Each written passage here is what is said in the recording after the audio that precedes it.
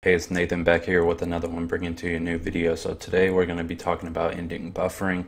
If you're having any type of trouble with your Amazon Fire Stick, you're freezing, your device is buffering, your device is not able to play any type of content, and you're just having major difficulty with it, follow these steps that I'm going to go ahead and give you today. So I'm going to give you several steps that you can use today, right now, to speed up your Amazon Fire Stick to end buffering. The first step that we want to go ahead and do is straightforward. The only thing that we need is our remote in our hand, the Fire Stick remote.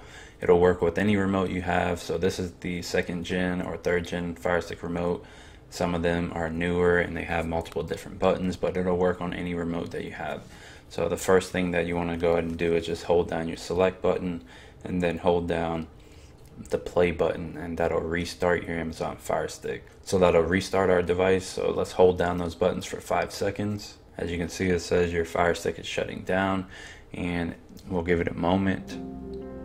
And as you can see, the Fire Stick is booting back up now we have confirmed that we have restarted our Amazon Fire Stick. So if you're restarting your device and you're landing back on your home screen, you should notice that your device should be very much more responsive than what it was before. So for step number two, we're gonna go ahead and go to the left, go down to search, and we're gonna search for an app. So we're gonna go ahead and type in B, A, C, and we're going to go down to background apps and process list click on background apps and process list you want to go over to the left and make sure you're hovered over apps and games, background apps and process list.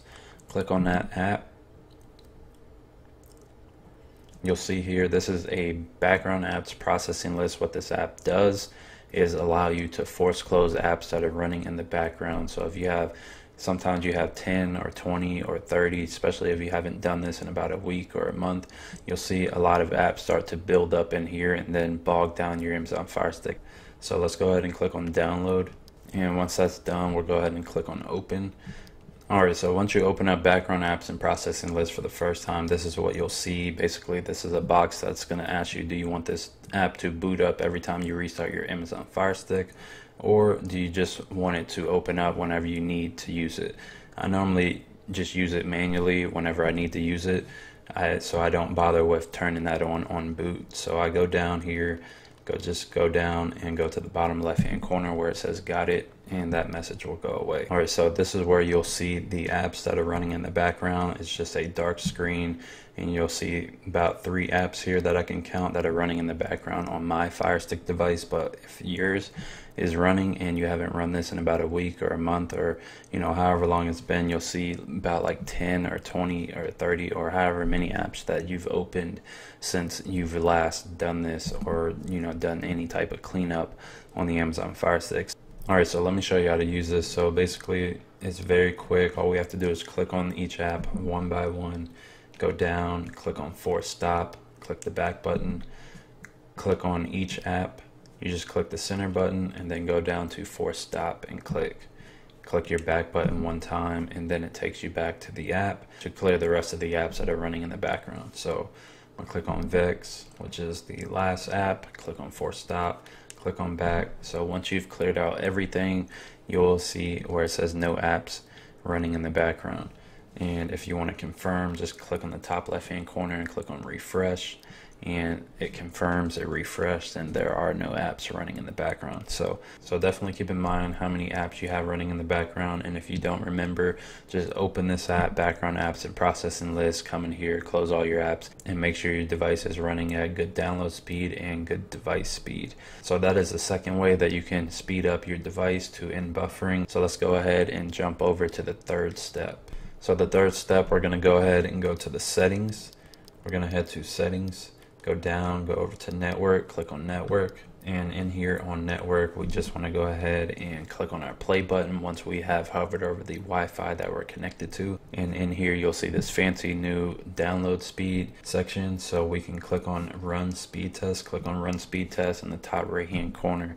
You'll see the network speed start spinning and it'll pop out and it'll give us a reading on what our download speed is. So keep in mind on this reading and you want to compare it to what the streaming requirements are on these streaming platforms that you connect to so like netflix tubi pluto uh, whichever app or streaming service that you connect to, you want to make sure that it does meet these minimum requirements for the megabits per second. So my internet speed in the top right hand corner, 177 megabits per second. So down in the bottom here, it says recommendations based on your latest speed test results. Your internet speed can support up to 1080p video quality without interruptions. So this gives us a good comparison, especially when we're trying to narrow things down on if our device is just running slow or if the internet has a major factor on slowing the internet speed or streaming quality way down. So you want to make sure that you are above or at least, you know, above 50 megabits per second just to confirm, you know, that you are meeting the minimum requirement and you have a little bit extra,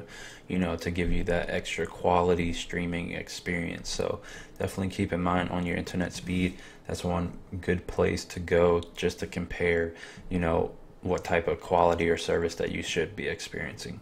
So the fourth step I do want to touch on is in your settings as well. So let's go over to the settings. Go down. Let's go over to the preferences. Once you're hovered over preferences, click on preferences. Go down to featured content here. Click on featured content. You want to make sure both of these are turned off, mainly because these are the big banners on the main home screen on the Amazon Fire Stick. If you don't have these turned off, then those are going to run on the home screen, which is going to take away internet speed because those are going to stream in HD video and HD audio. So keep that in mind. So we just want to go ahead and make sure they both are turned off. And that's another way to decrease any type of video or audio that doesn't need to play in the background to make sure that we're definitely running at 100% speed on the apps that you want it to run on. So the fifth step, if everything is still not working and you really want to just drill down to see why is this not working, what's going on, there's a final Hail Mary that I got for you. Go to the left hand side and go to the find section. Go down to search, click on search. So we typed in DEVE, which will give us the developer options settings. That's what we're looking for.